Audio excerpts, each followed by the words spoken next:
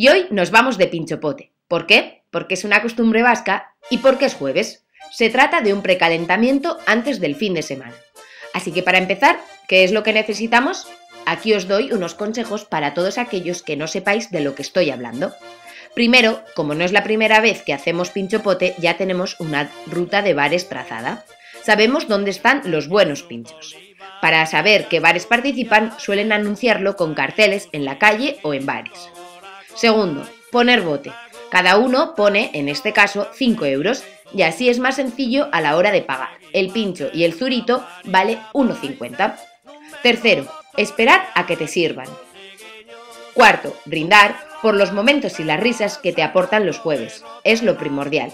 Y quinto, comer, está claro. Es lo principal y de eso se trata, disfrutar con las creaciones culinarias que hay en el País Vasco. Agur!